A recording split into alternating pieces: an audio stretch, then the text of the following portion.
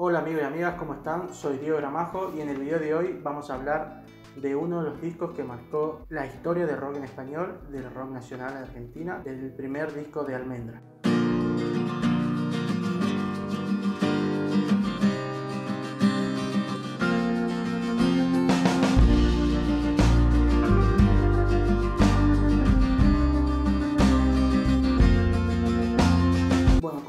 Principio, hoy vamos a hablar del primer disco de la banda Almendra, que lleva el mismo nombre que la banda. Para mí es un desafío, me pone muy nervioso, muy ansioso hacer este video, eh, ya que esta banda generó muchos eh, fanatismos, mucha gente que lo sigue mucho, que conoce su historia, muchas de sus anécdotas, entonces voy a tratar de no dar en muchos detalles y ser repetitivo, porque cosas que ya se dijeron. Eh, voy a tratar de ser lo más conciso, de hablar de la banda en sí y sobre este disco y con un poco de, análisis de sus canciones. Siempre, como digo, estos análisis son lo que eh, yo percibo, lo que yo entiendo cada vez que escucho sus canciones. Espero eh, que este video cumpla sus expectativas.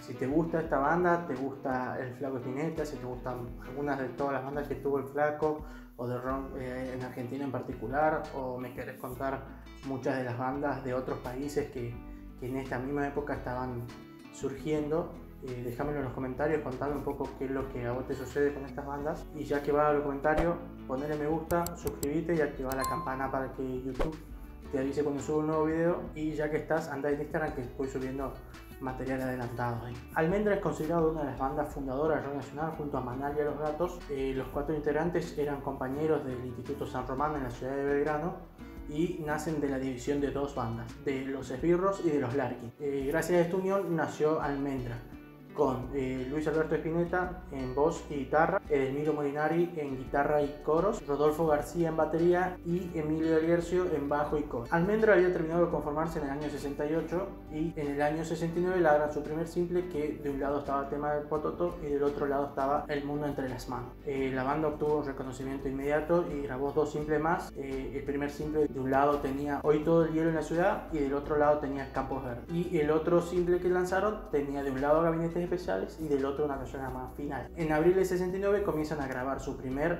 eh, long play, su primer disco de larga duración que recién se vería en enero del año siguiente. Durante la segunda mitad del año 69, Almendra se dedicó, como dije, a grabar todo el disco, el, su primer disco, que es considerado uno de los mejores álbumes de rock nacional. Este disco se lanzó el 15 de enero de 1970 y en la tapa tiene un dibujo hecho por Luis Alberto Espineta que representa una especie de un payaso llorando con una flecha en forma de sopapa pegada en su cabeza. El álbum está integrado por nueve temas, muchos de ellos que están en en el consciente colectivo del cancionero argentino. Siete de estos temas pertenecen a Luis Alberto Espineta, que son Muchacha Ojo de Papel, Figuración, Ana no duerme, Fermín, Plegar para un niño dormido, A estos hombres tristes y Laura va. Los otros dos temas es Color Humano, que es de Emilio Molinari, que es una zapada de 9 minutos, que es el tema más largo del disco. Y el otro tema es Que el viento borre de tus manos del Emilio Berger. Sin duda, el tema más conocido y más emblemático de este disco es Muchacha Ojo de Papel. Y en la canción Laura va está la participación de Rodolfo Mederos, que es un bandoneonista del área del tango muy reconocido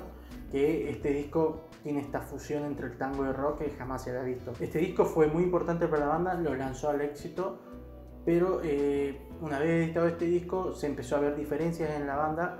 Eh, estaban pensando grabar una ópera rock que se iba a llamar Señor de las Latas, pero la banda se vio envuelta eh, con algunas discordias, irresponsabilidades, por ahí llamarlo decirlo, de parte individuales de cada uno.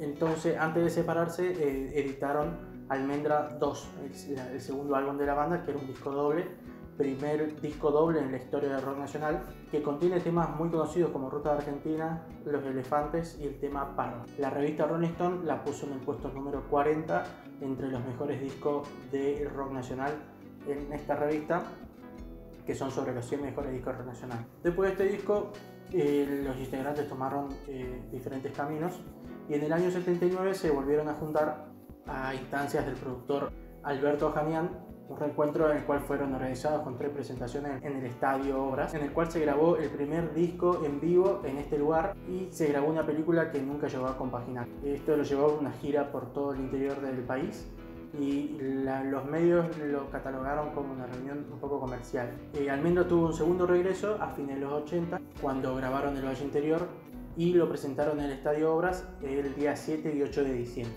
Y la despedida fue en La Falda el 15 de febrero de 1981. El 4 de diciembre del 2009, eh, Spinetta volvió a juntar a toda su banda en, el emblemático show en la cancha de Vélez, del cual sacó un disco que llamaba Spinetta y las bandas eternas. Y luego de hacer un par de canciones, la banda se separó definitivamente. Hasta aquí un poco de la historia de la banda, de Almendra. La verdad que es una banda que, que por lo que leí, por lo que sé, por lo que conozco, eh, duró poco, fue muy intenso lo que duró, la verdad que sacaron álbumes y canciones increíbles que son emblemáticas para el rock nacional, así que bueno, vamos a hablar un poco del disco en sí. Este disco eh, tiene un contexto, se grabó en una época de un contexto muy conflictivo, muy bélico alrededor del mundo, eran años en que se empezaron a conocer las cosas que sucedieron en Vietnam, dos años antes habían matado al Che Guevara en Bolivia, eh, venían de la Revolución Cubana, a la dictadura militar en Argentina. Era un contexto muy, muy nocivo para, para las personas, entonces eh, está bueno remarcar el ambiente en que este disco fue creado, fue editado y fue publicado. Este disco está considerado como el sexto mejor álbum en el listado de la revista Rolling Stone de los 100 mejores discos del rock nacional, esta revista.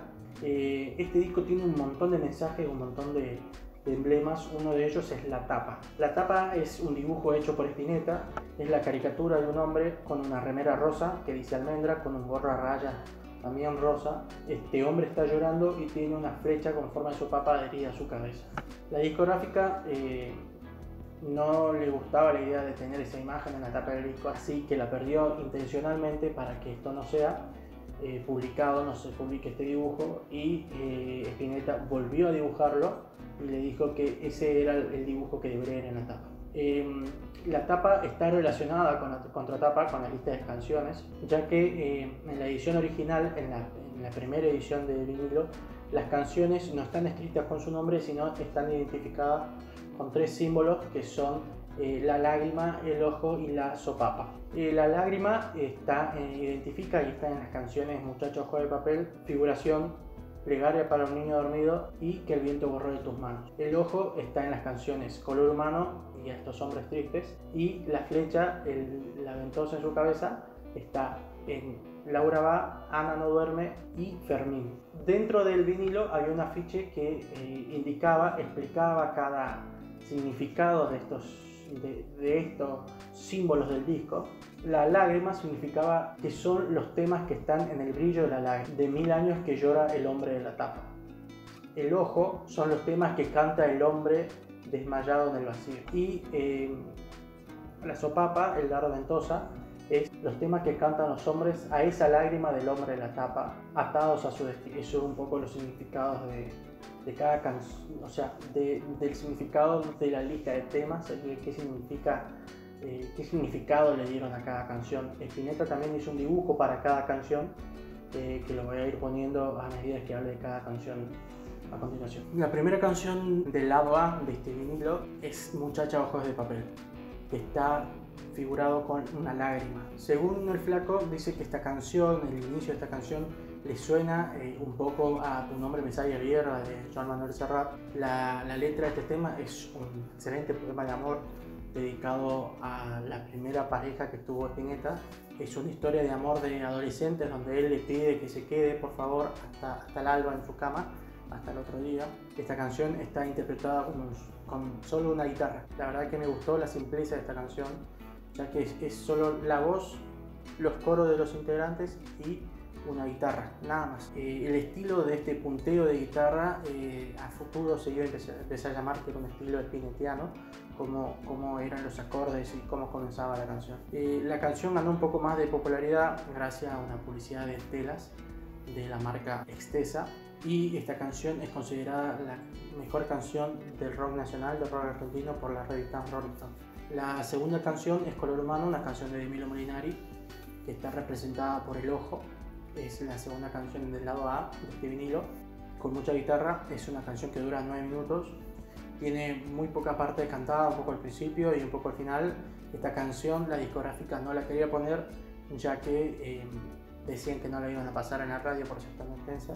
Ah, la verdad que a estos jóvenes no les importaba eso en ese momento, decidieron grabarla igual. Esta canción, la letra de esta canción, eh, habla sobre los colores del humano, de cómo el ser humano no asimila muchas veces los colores de las personas. Eh, dice que los seres humanos somos colores, pero no sabemos diferenciar qué colores son. La tercera canción de este vinilo es Figuración, un tema de Spinetta también, que está identificado con la lágrima en la parte de atrás del disco. Como dije, es el tercer tema de, del lado A de este vinilo. Es un tema acústico complejo. Esta canción comienza con una flauta de Emilio de Gercio eh, en los coros está Papo, invitado en este disco. Spinetta en esta canción le canta, te canta, le canta al oyente en segunda persona.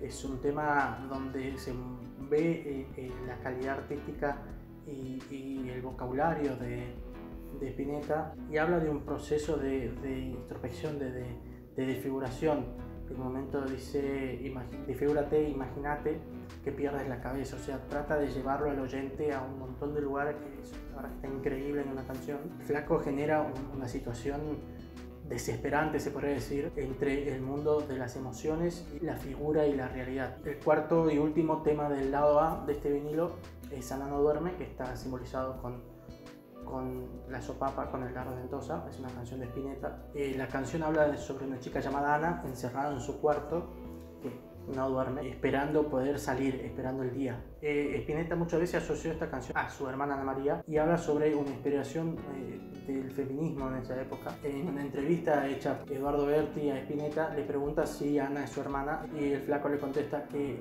no es solo su hermana, sino todas las Anas que no pueden dormir, que necesitan salir, que necesitan ser liberadas. El quinto tema, o el primer tema del lado B, es Fermín, una canción de Spinetta también, que está simbolizado con el dardo o con el chupón con la ventosa. La canción Fermín, eh, Spinetta contó que es sobre la historia sobre un vecino que tenía junto a Emilio de García, que era un chico especial, que era abusado.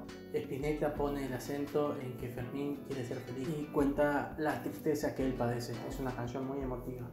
La sexta canción es Plegare pero niño dormido, una canción de Spinetta está simbolizada con la lágrima en el disco. Es la sexta canción o la segunda del lado B. Eh, esta canción también es un himno, es una de las primeras canciones que compuso junto a Barra tal vez eh, Spinetta a sus 15 años. Es una canción que suena un poco a una canción de cuna. Esta canción eh, tiene algo que nos muestra, como dije, el vocabulario que tenía Spinetta eh, lo leído que era para esa época y con su corta edad, eh, Spinetta usa el dístole en esta canción, que el dístole es como la forma de darle al poeta o al escritor eh, la posibilidad de correr los acentos, los tildes en las palabras, que Spinetta lo usó en muchas partes de la canción, pero se, se, puede identificar fácilmente en plegaria y en niño, que en vez de decir plegaria, dice plegaria, y en vez de decir niño, dice niño a estos hombres tristes está identificada con El Ojo, es una canción de Spinetta también,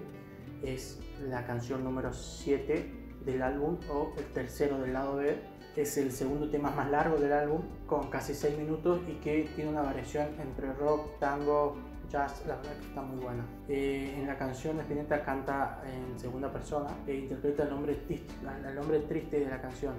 Spinetta cuenta que este hombre es, era él los domingos en su casa, que para él los domingos eran muy tristes, que el viento borró tus manos es la octava canción del disco o la cuarta del lado B. Está identificado con la lágrima y es una canción de Emilio de García. Es un tema de estilo tradicional con un chiste de flauta y una mezcla entre pop, rock, jazz que está, está muy bueno. Eh, la letra se trata sobre una chica que voló y se pregunta ¿dónde estás ahora que el viento borró tus manos?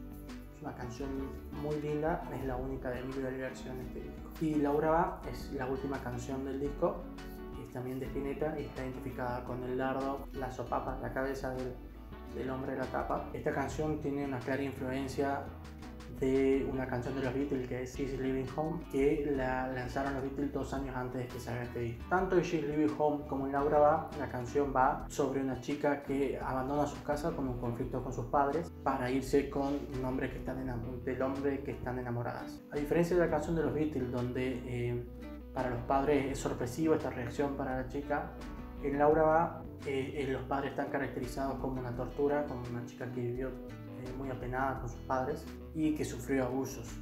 esta canción por momentos adopta ritmos de tango ya que, está, ya que participan en ella Rodolfo Alchurrón y Rodolfo Mederos. Alchurrón de la Escuela del Jazz y Mederos de la Escuela del Tango, con amplia experiencia, logran eh, poner su impronta en esta canción y también la hacen una de las obras maestras más importantes del rock argentino. Bueno, ahora les muestro un poco lo que es eh, el vinilo por dentro, el vinilo en sí, este, de la edición que yo tengo en mi propiedad que este vinilo es eh, de un tío mío que me, prestó este vinilo, me prestó este tocadisco que se ve atrás mío.